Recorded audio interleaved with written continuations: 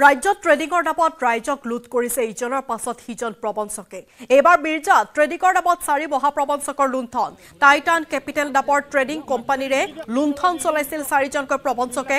প্ৰবঞ্চককেইটাৰ নাম হৈছে সুৰেশ মেধি নিৰঞ্জন মালাকাৰ ভাস্কৰ কলিতা আৰু থানেশ্বৰ তালুকদাৰ। কেইবা শতাধিক বিনিয়োগকাৰীক লুট কৰিছিল এই চাৰি প্ৰবঞ্চকে। ভুক্তভোগীয়ে ঘেৰাও কৰে চাৰি প্ৰবঞ্চকক। পাঁচশ কোটি টকা লুটি দিয়াৰ অভিযোগ উত্থাপন হৈছে। এই প্ৰবঞ্চক কেইজনৰ বিৰুদ্ধে চৌব্বিছ শতাংশ সুদ দিয়াৰ প্ৰলোভনেৰে সংগ্ৰহ কৰিছিল ধন। মিৰ্জাৰ আৰ বি হাইস্কুল খেলপথাৰত প্ৰবঞ্চক কেইটাক ঘেৰাও কৰিলে ভুক্তভোগীসকলে।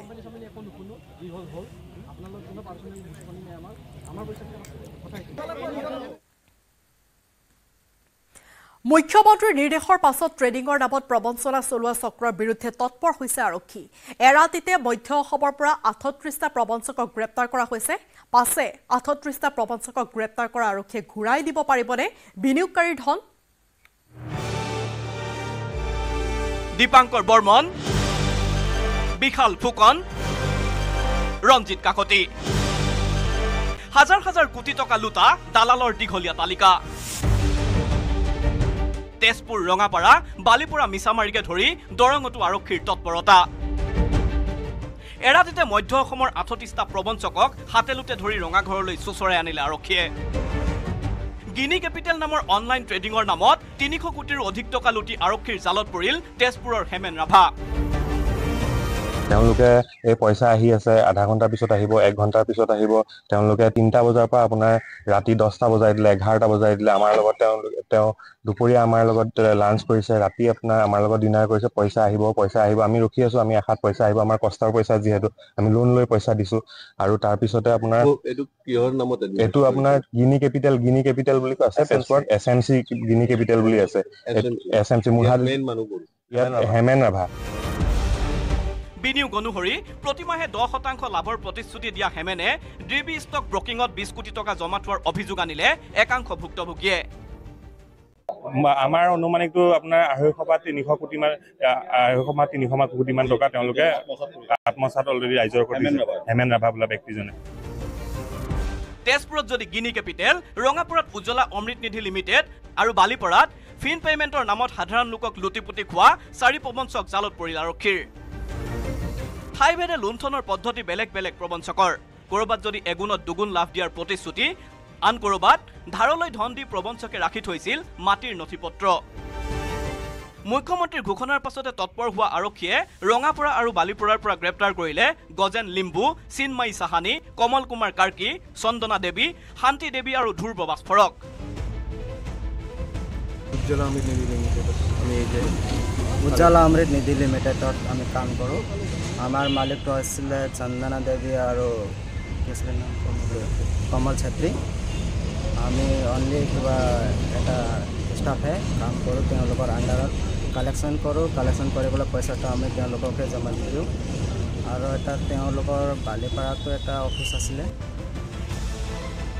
ট্ৰিডিক্স ট্ৰেডিং নামৰ এপৰ ধনৰ অবৈধ লেনদেন কৰি শোণিতপুৰ জিলাৰে মিছামাৰী আৰক্ষীৰ জালত পৰিল ছাইফুল ইছলাম আৰু আব্দুল কাদিৰ। শোণিতপুৰৰ দৰেই দৰঙতো মঙলবাৰে নিশা আৰক্ষীৰ জালত পৰিল পাঁচটা প্ৰবঞ্চক।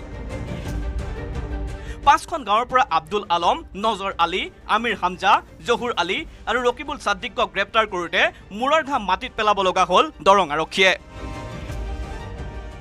আনৰেগুলেটেড ডিপজিটছ পাব্লিকৰ পৰা কালেকশ্যন কৰি আছে প্লাছ লোনো তেওঁলোকে প্ৰভাইড কৰি আছে যিটো ইলিগেল হয়। আৰু তাৰ বেচিছতে আমি পাঁচটা এণ্টাৰপ্ৰাইজ তথা ছ'চাইটিক আমি যোৱাকালি ভেৰিফাই কৰিছিলোঁ।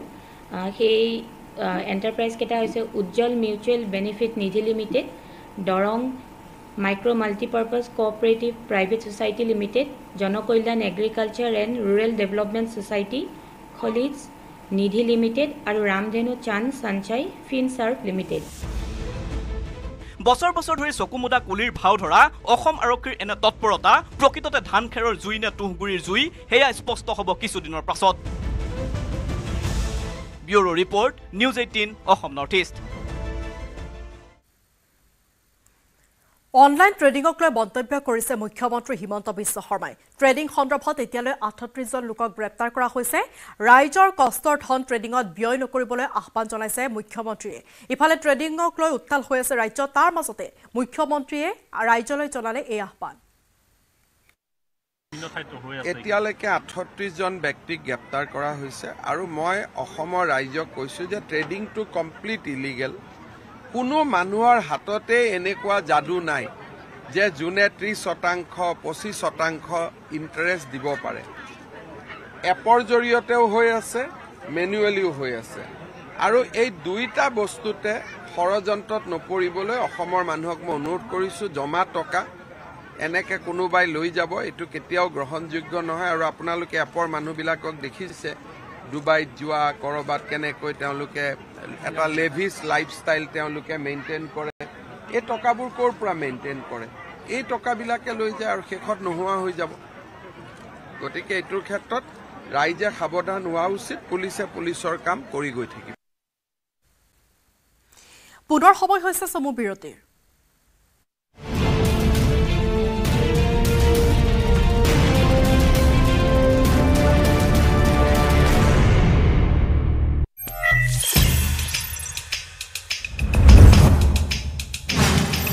দেশৰ এক number news platform Zee News এপত থাকিব আপুনি বিচৰা সকলো বিষয়। খেল ৰাজনীতি চিনেমাৰ পৰা স্বাস্থ্য শিক্ষা আৰু জীৱনশৈলীলৈ। নিউজৰ প্ৰায় সকলো বিষয় সামৰি শ্বেয়াৰ ফৰৱাৰ্ড আৰু ছেভ একমাত্ৰ এপ য'ত পোন্ধৰটা ভাষাত পাব লাইভ ভিডিঅ' যি আপোনাৰ অঞ্চলৰ ভিন ভিন বিষয়ৰ নিউজ সংগ্ৰহ কৰে। আৰু সত্যাসত্য নিৰূপণ কৰে। আপোনাৰ নিউজ এইটিনৰ এইটিন এপ ডাউনলোড কৰিবলৈ স্কেন কৰক এই কিউ আৰ কোড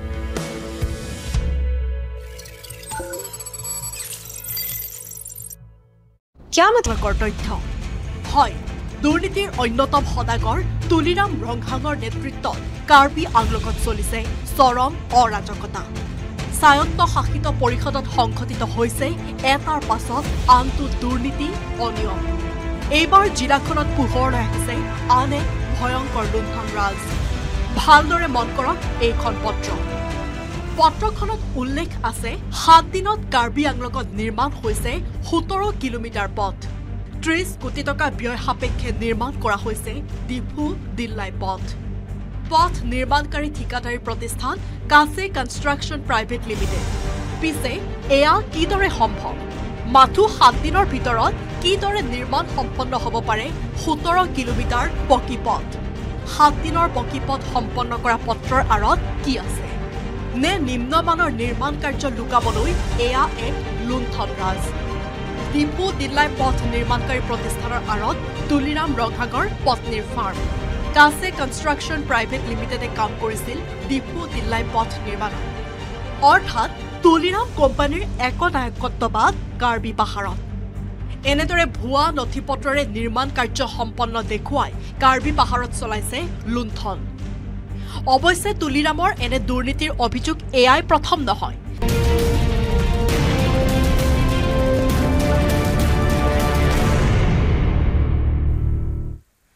মহাপ্ৰবঞ্চক বিশাল স্বপ্নলীলৰ পিছত আৰক্ষীৰ জালত পৰিল মষ্ট ৱান্টেড প্ৰবঞ্চক হেমেন ৰাভা। অনলাইন ট্ৰেডিঙৰ নামত তিনিশ কোটিৰো অধিক টকা আত্মসাত কৰি পলাই আছিল তেজপুৰৰ হেমেন। বিশাল ফুকন স্বপ্ননীল দাসৰ দৰে হঠাতে ধনৰ পাহাৰ গঢ়ি হেমেনেও কিনিছিল বিলাসী বাহন গঢ়িছিল অজস্ৰ সা সম্পত্তি বিশাল স্বপ্ননীলৰ পিছত জালত পৰিল তেজপুৰৰ হেমেন ৰাভা। তিনিশ কোটিৰো অধিক টকা আত্মসাত কৰি পলাই আছিল তেজপুৰৰ হেমেন ৰাভা। হোটেলত অভিযান চলাই আৰক্ষীয়ে গ্ৰেপ্তাৰ কৰিলে। মষ্ট ৱান্টেড হেমেন ৰাভাক থানাৰ বাহিৰত এইসকল হেমেনৰ ভুক্তভোগী বিনিয়োগকাৰী। মই নিজৰ ঘৰৰ পৰা দুই লাখ টকা দিছিলোঁ তেখেতে তিনি লাখ টকা মোৰ দাদাজনে ন লাখ টকা। যেতিয়া গম পাইছোঁ যে পৰিস্থিতি অতি বেয়া যে উইড্ৰ কৰিবৰ কাৰণে যেতিয়া আমি চব একেলগে গ'লোঁ তেতিয়া সদায় মানে মিছা কথা কয় যে আজি উইড্ৰ হ'ব কালি উইড্ৰ হ'ব ৰাতিপুৱা আহা আবেলি আহা দুদিন টাইম দিয়া পে'মেণ্ট আহি আছে। তেনেকৈ প্ৰলোভন দি দি দি দি ইতিমধ্যে কালি একেলে মানে আহি আছো বুলি কৈ দোলাবাৰীত ধৰিছে আমাৰ দাদাকেইজনে। তেখেতে ফুল টেংকিত মানে তেল ভৰাই গুৱাহাটী পলাবলৈ মানে সাজু আৰু হেমেন ৰাভাই হয়। হঠাৎ যেন আলাউদ্দিনৰ চাকিহে লাভ কৰিছিল হেমেনে। বিশাল ফুকন স্বপ্ননীল দাসৰ দৰে হঠাতে ধনৰ পাহাৰ গঢ়ি হেমেনেও কিনিছিল বিলাসী বাহন অজস্ৰ সা সম্পত্তি। বিনিয়োগকাৰীক কম সময়ৰ ভিতৰতে ন শতাংশ দহ শতাংশ লাভ দিয়াৰ প্ৰলোভনেৰে হেমেনে প্ৰত্যেকৰে পৰা সংগ্ৰহ কৰিছিল ন লাখ দহ লাখ টকা।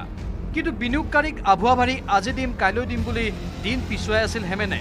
যদি কোনোবাই ভাল দহ লাখ বা সাত লাখৰ টকাৰ ওপৰত লগাইছে সিহঁতে দহ দহ টকালৈকেও আপোনাৰ কমিটমেণ্ট কৰিছিলে। কিন্তু পে'মেণ্টটো বেয়া আৰু যিহেতু ইমানখিনি স্কেম হৈ আছে তো আমাৰ ল'ৰাখিনিয়ে যেতিয়া গৈ পেলাই সুধিলে সুধোঁতে তেখেতে গুৱাহাটীলৈ পলাবলৈ চেষ্টা কৰিছিলে।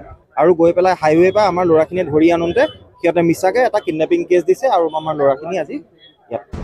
অনলাইন ট্ৰেডিঙৰ নামত প্ৰায় তিনিশ কোটিৰো অধিক টকা আত্মসাত কৰি দীৰ্ঘদিন ধৰি পলাতক হৈ আছিল তেজপুৰ বান্দৰমাৰীৰ যুৱক হেমেন ৰাভা মুখ্যমন্ত্ৰীয়ে ষ্টক দালালৰ বিৰুদ্ধে কঠোৰ অভিযানৰ নিৰ্দেশ দিয়াৰ পিছতে নিজৰ ভৱিষ্যত সংকটাপন্ন হোৱা দেখি ৰাজ্যৰ বাহিৰলৈ পলাবলৈ সাজু হৈছিল হেমেন। কিন্তু তাৰ প্ৰাক মুহূৰ্তত গ্ৰেপ্তাৰ হ'ল মষ্ট ৱান্টেড হেমেন ৰাভা। তেওঁলোকে আমাক একমান বজাৰ পৰা ৰাতি প্ৰায় এঘাৰমান বজালৈকে পইচা আহি আছে চেক আহি আছে এনেকে এনেকে দৌৰাই ফুৰাইছে গোটেই তেজপুৰত তেজপুৰখন দৌৰাই ফুৰাইছে গাড়ীত উঠাই পেলাই। তাৰপিছত পিছত ৰাতি গম পাওঁ যে তেওঁলোকৰ পৰিয়ালৰ মানুহে ওলোটাই আমাৰ চাৰি পাঁচজন ল'ৰাৰ ওপৰত মানে অপহৰণৰ গোচৰ আমাৰ ওপৰত জাপি দিছে। হেমেনক বিচাৰি ভুক্তভোগী বহুকেইগৰাকী বিনিয়োগকাৰীয়ে চলাথ কৰিছিল। তেজপুৰ কছাৰীগাঁও আৰক্ষী চকীত ইতিমধ্যে কেইবাখনো এজাহাৰ দাখিল কৰিছে ভুক্তভোগীয়ে। বহুকেইগৰাকী বিনিয়োগকাৰীৰ অভিযোগ পোৱাৰ পিছত আৰক্ষীয়েও বিচাৰি আছিল হেমেন ৰাভাক। ইয়াৰ মাজতে মুখ্যমন্ত্ৰীৰ নিৰ্দেশত ষ্টক দালালৰ বিৰুদ্ধে আৰক্ষীয়ে কঠোৰ অভিযান চলোৱাৰ সময়তে নিজৰ ধন বিচাৰি বিনিয়োগকাৰীয়ে যোগাযোগ কৰিবলৈ সক্ষম হৈছিল হেমেনক।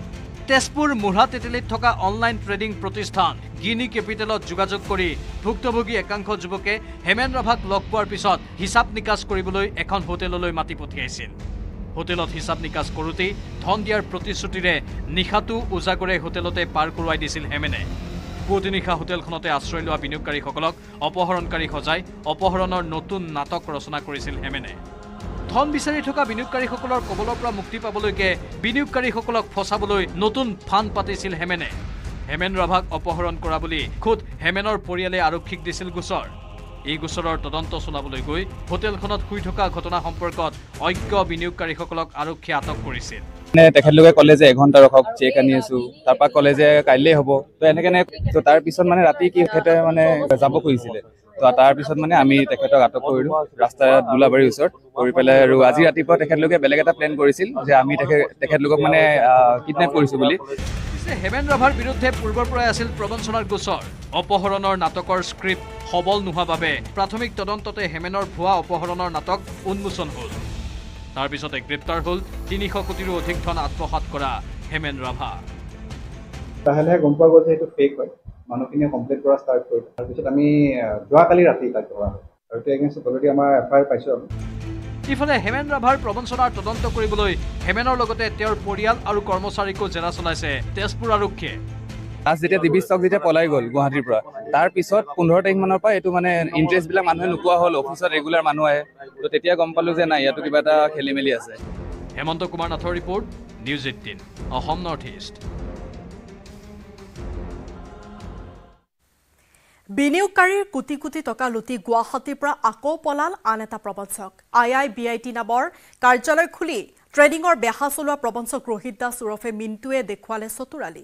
দুৰ্ঘটনাত পতিত হৈ চিকিৎসালয়ত ভৰ্তি হৈ থকা বুলি কৈ চলিত মাহৰ এক তাৰিখে অন্তৰ্ধান হ'ল চতুৰ ৰোহিত।